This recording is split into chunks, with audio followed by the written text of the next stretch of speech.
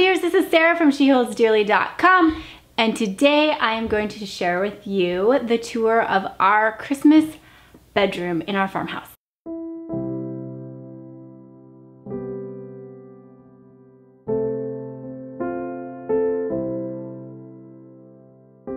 This is the first time I've ever done this. I put a lot of thought into this, a lot of ordering and styling and even when I had everything all collected and knew like exactly what I wanted to do, it still took me four hours to set up. But I'm so happy I did. The kids keep coming in and looking around and going, oh my gosh, oh my gosh. And so I'm excited to share with you what we, what we have going on this year. And I really went for a very muted, soft, um, sort of cozy French look. Uh, my thought was just that I wanted it to feel really restful for us and warm and soft and like we just mentally could relax in here. So no red in this room. And um, let me just show you around and I'll show you what I did. I, I broke the room into the five zones that I normally work in when I um, talk about this room. There's five main areas. And I tell you that just so that you yourself can think along those lines when you're decorating a room. You wanna hone in, especially on like the task that, that the area in a room is dictating. So we have two office areas in this room. We have one armoire area, we have the mantel area, and we have our bed. So I focused on those five different areas and I'm gonna just throw out some tips that you can do to tweak a few things in your house and suddenly it feels like it's decorated for Christmas. So first of all, let's look at the office spaces because they are the simplest. I went ahead for my, my husband's office space. I just took out the fern that was previously on the desk and I put in an, an old style galvanized bucket with a rope handle and a little tree that I got at Target for $5. And then uh, last year I made a pom-pom garland. I just hot glued pom-poms onto a ribbon. And so I just um, just draped that really loosely over the top of his artwork over his computer. And that was it. So there's two tips for switching out your decorations. One is to replace your regular plants with Christmas trees or something more Christmassy looking like paper white flowers or something. And then if I can, if I'm switching out an old piece of decoration, I actually put it right into my Christmas bin. And so I'm emptying it out and filling it at the same time. And then it's just like a no-brainer. It's all kept together. And then when I put my Christmas stuff away, it can come back out. So that's a, that's a good storage tip. And then I do think that switching out somehow, switching out your artwork a little bit on the walls, your wall decorations, really has big impact, even if it's just hanging a simple garland over a picture. Okay, so same thing for my desk. I simply removed, I have, normally have a fern wreath up above my desk. I put that in the bin and I put up a little wreath that I made. It was in one of my um, thrifted, styling your thrifted decorations videos. I took an olive branch and I made it into a wreath and I just hot glued little pine cones on it. So I hung that in place of the previous wreath and added a little white, white satin ribbon and put a candle on my desk and that's done. Okay, so those were the two easiest spaces.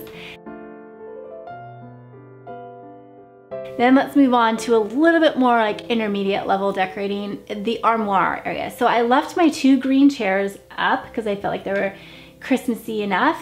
And I have, I just did a video on recovering those, so you can check that out if you want. But um, then I decided that the top of the armoire, there's a basket up there that I keep our linens in. I decided to fill it with antlers and my thought was it kind of just feels kind of reindeerish, not a word, but I just really liked how subtle it was, but it was just like a touch of, like a hint of Christmas going on there. And then I put this vintage dress with the gray bow. I hung that on the front of it. This dress belonged to a baby girl that we lost a few years ago. And so I um, will probably always keep this dress and pull it out for the Christmas decorations. Just looks like a little girl's party dress and then it's totally sentimental. So that's what that is. And then moving over to the mantel, I had a lot of fun with the mantel. This is gonna be following on my previous tip about changing out your artwork. So this, this picture up here, if you remember from my bedroom reveal that I did uh, just a few weeks ago, I have this painting on top of the mantel, but it's a painting of mountains. And I thought I'm gonna switch that out every um, every season maybe. And it's not something that you can just pull out. There's no glass on it or anything. And so I ordered a $5 painting, printable painting off of Etsy. I had it printed at Office Max. I think it was just five, maybe five more dollars or something like that. And then I had them print it to the right size and they cut it for me and everything. And I literally just set it in the frame. That's it. It's not like held in place or anything. I thought I might have to tape it, but it's staying fine. So it looks like a whole nother painting. I love it. So that's another tip that you can do to switch out your artwork is get a $5 painting off Etsy and switch out some artwork. Then my cloches I normally keep here, but I went ahead and added some little cream colored bottle brush trees. And then there's this crazy like macaroni tree that is so funny to me. It's from my childhood. I remember it distinctly from when I was little. And my mom, I think my mom made it. I don't know, was that a 70s thing that you like paint, glue noodles on things and then spray paint them? I don't know, but I just love it. Every year I pull it out and it just makes me smile. so that's up there and I love that it's cream colored like the bottle brush trees. I then added um, a couple stockings for my husband and I. And actually these were um, a green color that I didn't like and I ended up bleaching them and it turned out nice and creamy and so I was able to continue to use them. And then I just added in some of this frosty, like sagey color green garland. Okay, so pretty simple, but it's soft and I just really love it. So now, tip number three. If you can squeeze a tree into your bedroom, it is so dreamy to sleep by tree light. So I'm super excited actually tonight to sleep with the candles on and I, oh, let me share my favorite thing this year. Each year I, I invest in getting a few more decorations and this is my favorite. I, for the last few years, have done really kind of a Scandinavian look with my trees and haven't used any ornaments. But this year I'm really loving the candles and I actually that's that's my prediction is that the whole like clip-on candles are gonna become really trendy. So you heard it here first. But I looked at several ones. There's some super cheesy ones on Amazon that I ended up returning. And then I found these and they weren't totally cheap, not dirt cheap. But for me, it was worth it because they're just so gorgeous. And they are made with wax. Like you, they feel like wax and you simply slide a double A battery up into shaft of the candle you twist it on, it comes on, and then you, you easily just clip them onto the branches, so no cords, right? And you can adjust the candle to um, get at the angle you want it at, and then you can adjust, adjust the wick, and then it comes with a remote, and you turn it on, and the little lights flicker, and oh my gosh, it's like the perfect perfect little Christmas thing to indulge in. So I'm passing that on to you because I'm totally excited about it. And I'll also link the tree. This is my tree. I've got a couple of these trees that I get at Walmart. And I love how real they look. I love that there's like a two-tone green going on of these sage like fluffy tips. It's a spruce tree. And so anyway, I will link that for you. Hopefully they still have it this year. But I have those for my trees. I don't buy a fresh tree anymore. And then I just simply clipped on my candles and we're ready to go. Tip number four, throw some creamy colored, textured knit throw blankets around. So I've got one on the chair I'm sitting on. I've got a beautiful blanket on my bed that has crocheted on it, which to me, like, I love crocheted year round, right? But at Christmas, it's even better because it's like snowflakes. That's what I think of when I look at crocheted things, especially in the winter. So that is a really pretty touch to bring in anything knit, anything crocheted. And then Tip number five, if you have a chandelier in any of your rooms, this is the time to start dressing it up. And it, the first time I like tucked in all the little picks and things, I was getting, it just got like too perfect and too full and just kind of gaudy. And so I took like half of it out. But so I have evergreens with some little pine cones. I have then some of this sagey, um, velvety leaves, the different color of green. I like to use like three different types of greenery when I'm putting a look together, especially at Christmas. And then I have some smaller leaves that have like uh, white glitter on them. So it all came together, it's just the right touch and you can still see my, my crystals hanging down a little bit. So that was fun. Then on my nightstand, I switched out my bouquet of flowers. I actually moved it over to one of the green chairs. You can kind of do that, do a little juggling and not actually have to store all of your regular decorations. But on my own nightstand, I added a matching tree that's on my husband's desk and a candle. So super sweet, just tiny little switches, but it takes it into the Christmas mode, right? And, okay, so tip number six, and this is specifically for a bedroom, now is the time to switch out your sheets if you can and we got some new gray plaid flannel sheets in. Just something simple. It doesn't need to dominate the room it just needs to coordinate okay? So I got some Laura Ashley just simple plaid gray sheets just to make it super cozy. And if you've been around a while you know I love my white sheets but for the next few weeks they're gonna be plaid flannel sheets and I took my my white sheets that I normally would have used, been using, and I actually just used them to go around the base of my Christmas tree so it looks like snow. So that's another little tip.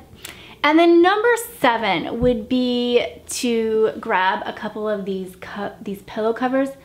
I believe they're two for $15, which is like outrageously cheap. That's fantastic. They're velvet. I love the 20 by 20. That's my standard like medium sized pillow.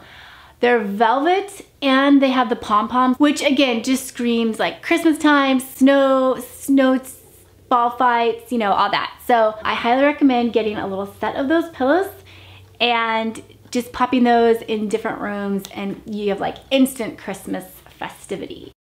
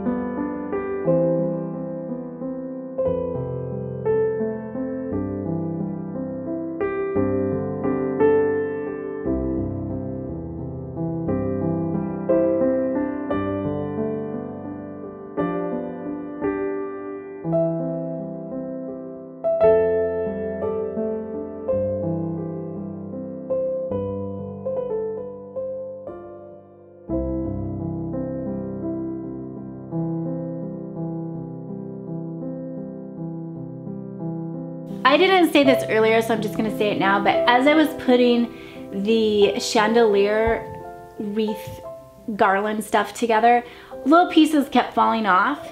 And instead of trying to stick those in there and then have them fall on you when you're asleep or something, um, or throw them away, hang on to these and use them on your gift wrap.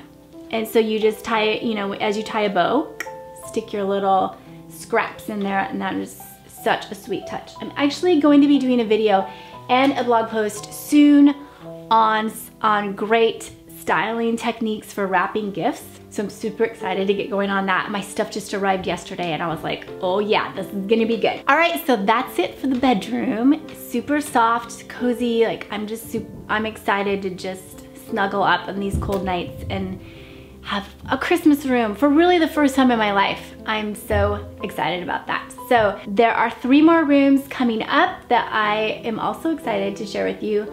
This one is done. And if you haven't already gotten a hold of my 10 steps for a peaceful Christmas, I will link that below for you. Um, just, it's just things I've learned over the year to push back on the crazy and make sure that it's actually an enjoyable time of year and just some hacks that I've found. So you can grab a copy of that if you would like. And other than that, thank you so much for stopping by and watching this whole video. If you're new here, please consider hitting that subscribe button. I do post regularly, usually on a Tuesday and a Friday, and I share my professional design advice for the DIY home life. All right, take care. I'll talk to you soon.